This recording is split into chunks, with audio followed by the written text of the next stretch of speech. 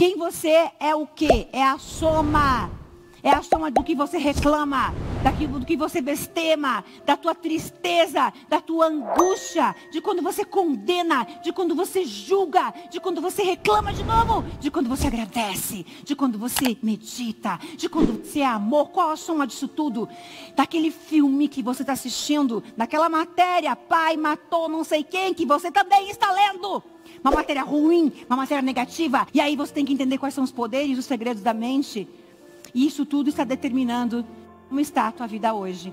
Aquela pessoa que te enganou, que ela te enganou uma única vez na vida, há anos atrás. Ela te enganou uma vez, há cinco anos atrás. E você está se enganando há cinco anos. Você está enganando focado nessa história há cinco anos, a culpada é ela ou é você? A culpada é você que é trouxa. Trouxa por quê? Por falta de conhecimento, por falta de estudo, falta de ler um livro. Eu não tenho dinheiro. Quem disse que tem que ter dinheiro? Eu também não tinha. Eu devia para todo mundo. Eu devia 700 mil. Eu não tinha o que comer. Eu ia dormir sem comer. Mas cada um centavo que eu tinha era um livro que eu comprava. E é por isso que hoje eu estou nesse palco.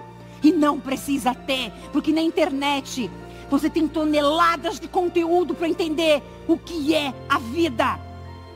E é essa história. Aonde ficou a tua alma? Na pessoa que te enganou. Eu costumo dar um exemplo muito simples. O casal que se separa porque o marido traiu a mulher.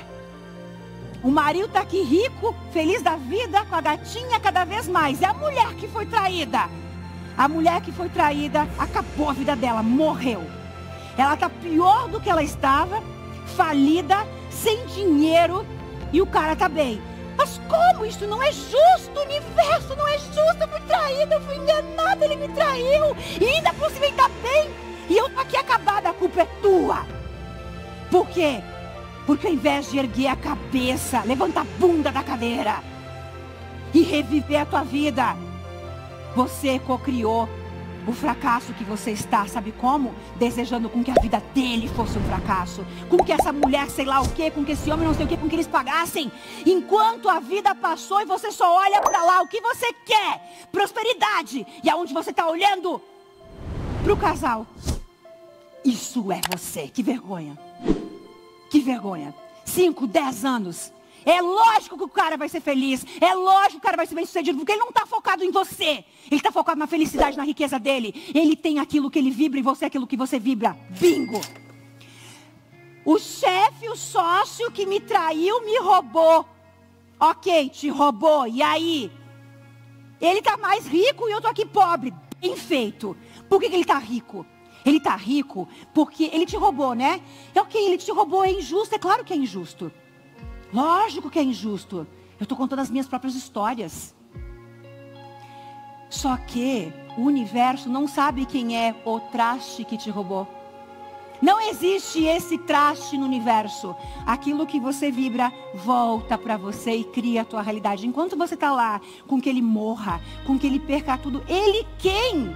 Não existe ele, só existe você. Aquilo que você vibra volta para você. Aquilo que você deseja, desejando que aconteça com a vida dele determinou o futuro fatalístico, a profecia autorrealizável do que vai acontecer com a tua vida.